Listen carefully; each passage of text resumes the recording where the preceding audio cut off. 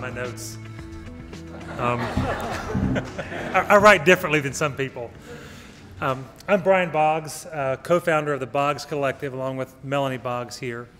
The Boggs Collective is a unique type of furniture company that is built much like other businesses, but it's built to create an ecosystem that supports the best of what we can do in furniture making. I started out making chairs 30 years ago, much like this, in a very different kind of scenario. I had $50 to set up a shop, and I did. I worked in the backyard. I'd take logs and split them up into pieces, carve each part with a, with a draw knife, and put it together the way they did 200 years ago, using no glue, just the movement of the natural materials.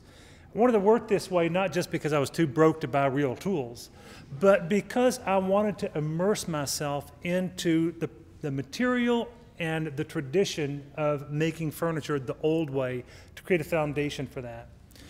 And I wove my stories as I went along and learned how to sell these and stayed busy for years and grew a shop into a six man shop that was doing really great. We couldn't keep up with demand until the economy collapsed and I got slapped in the face with wait a minute, there was something missing. We were doing great, and all of a sudden, it wasn't just the economy. I'd been wanting to move to Asheville for 15 years, and it wasn't until things had slowed down enough in my company that it shrank, and then I could move it. So I moved to Asheville and started really rethinking about what it was that had shifted and what it was that needed to shift so I could rebuild my business again and what it was that I would be doing that for.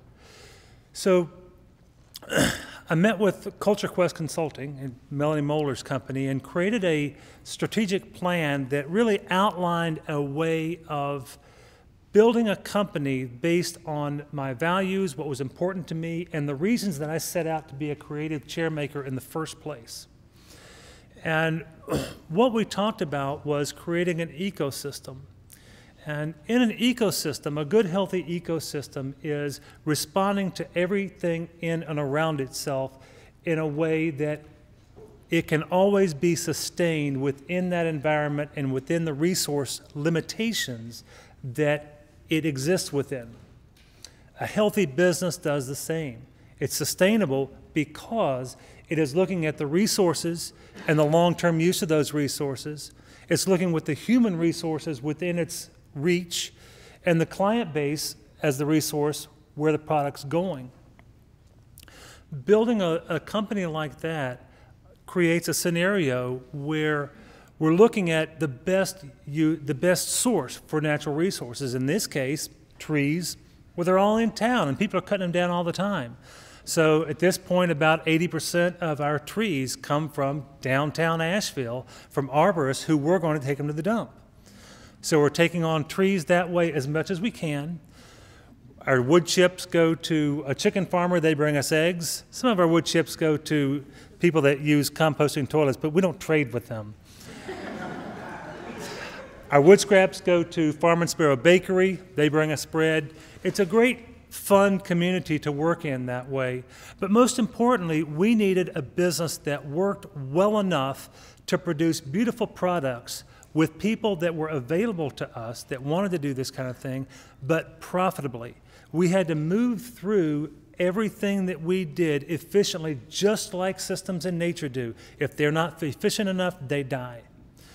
So what I realized and what we realized as we went along is that starts from not just a business design point, but from a product design. This chair was a perfect product for me starting out because it's an easy one to learn and I can move through it fluidly after six months of making chairs. Some of the products I make now are not that way, but we have a different ecosystem now. Now, what we need to do is design things that can sell in the current market, that allow our, uh, our craftsmen to learn fairly quickly, and yet give us a profit margin that allows us to create a business that is solid.